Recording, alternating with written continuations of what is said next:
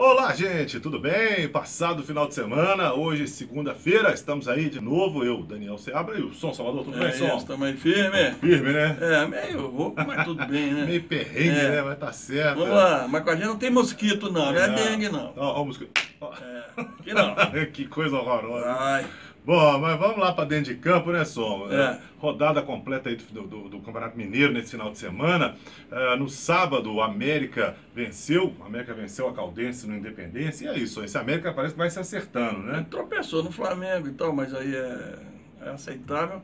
E eu acho que eu, eu tenho que fazer uma boa campanha no Mineiro para ajustar o time. E a gente começa a perceber jogadores que até o, que no ano passado não, não tinham tanto destaque e que o Givanildo começa a, a ajeitar.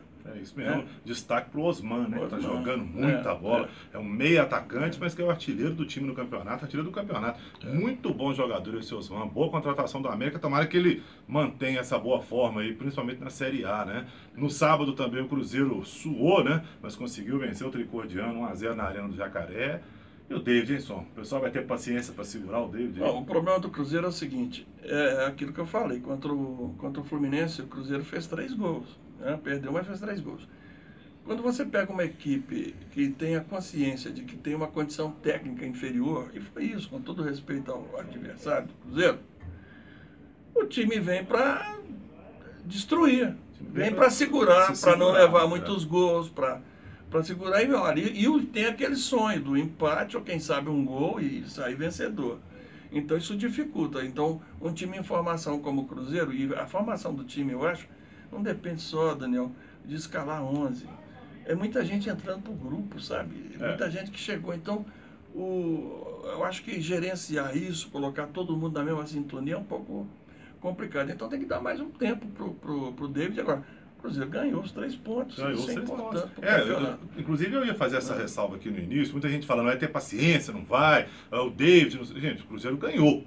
Cruzeiro ganhou, ganhou o jogo na, na, na, na- na liga, né, na primeira liga, Sul Minas e tal, não vai bem, se complicou e tal, mas no Campeonato Mineiro, como já era de se esperar, o Cruzeiro ganhou o jogo, então é preciso ter um pouco de calma, é o que eu disse outro dia, não sei, é outra discussão se o David era ou não a opção, mas já que bancou, então agora que segure o, o, o David, Claro, né? sem dúvida. Destaque nesse jogo para a estreia do Lucas Romero, que foi bem, bom jogador, um volante, marcador. Chega E- junto. Chega junto. E o Dedé. Dedé vai voltando, parece que vai voltando à boa forma, né? Depois de passar um 2015 aí todo no estaleiro. O Dedé chegou a ser relacionado, só para os dois últimos jogos do brasileiro, não jogou nenhum dos dois. Então 2015 para o Dedé foi eh, apagado, né? O Dedé só ficou no departamento médico. E agora vai voltando bem. Mostrou que vem com bom posicionamento e com um reflexo que para quem joga na defesa é muito importante. Ele salvou uma bola que estava praticamente dentro do gol e ele. ele Nos últimos livrou, minutos, é, né? E o então, Cruzeiro ia é, empatar. é, então é bom ver que o Dedé está se recuperando. Isso. E ontem, jogando no Independência, o Atlético com um time misturado, meio misto, mais reserva do que titular, conseguiu vencer o Boa 5 a 1 O Atlético fez. Uh, deitou e rolou em cima do Boa, né? O Boa, o Boa cismou de, de jogar aberto com o Atlético, querendo partir para cima. No primeiro tempo ele ainda botou fôlego em campo e tal, mas no segundo não deu, né? É, o time reserva do Atlético já tinha dominado a partida, já estava bem, já estava. É. dava- merecia até fazer mais gols. Depois com a entrada de Luan, né?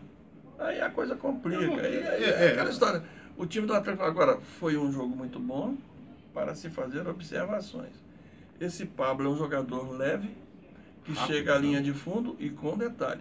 Não é esse tipo de jogador que chega à linha de fundo e dá um bico pro gol. Ele, ele enxerga o jogo. O Yuri também. Aliás, sobre o Yuri eu quero dizer uma coisa. Eu vejo jogos da Europa, tem gente tentando dar carretilha lá e ninguém reclama. Eu vejo os jogos do Sul, o pessoal está tentando dar carretilha e vida que segue. Aqui tentou, o Yuri tentou dar uma carretilha no jogador do Boa, É. o cara parte para cima para brigar. Eu acho que isso é uma questão de preservar o futebol. Sabe a maneira de dar o troco numa carretilha? Pega a bola depois, vai lá e faz um gol.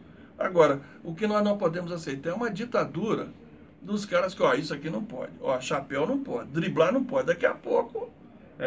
MMA. Ah, eu, Ah, eu sempre fui, a gente já falou disso várias vezes, eu sempre fui favorável ao futebol ofensivo. O camarada pega a bola e vai pra cima, tem que, tem que, E é recurso. tem que tentar tirar a bola da forma como ela. É, era igual aquela jogada do Kerlon, né? O Kerlon põe a bola e, e- e ia pra cima, então tem que tentar tirar da forma como deveria. O cara botou a bola debaixo das pernas, tenta não tomar a bola debaixo das pernas. Pra mim é assim que é funciona. muito legal pro, pro Aguirre, porque ele começa a perceber com quem ele pode contar, né? É. Um dos problemas do Atlético era o banco.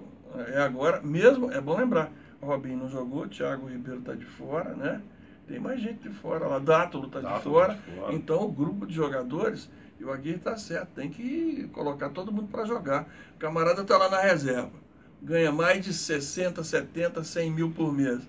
E não vai jogar? É isso. É, Joga e mostra, ó, eu posso continuar aqui. Destaque então- nesse jogo pro Dodô também, né? Jogou bola, o Dodô mostrou bom futebol, pode ser útil ao Atlético. Mas precisa da sequência. Precisa de sequência. O Atlético que volta a campo na quarta-feira contra o Independente Del Valle, do Equador, no Independência, casa lotada, porque os ingressos já estão esgotados, e estreia do Robinho, né?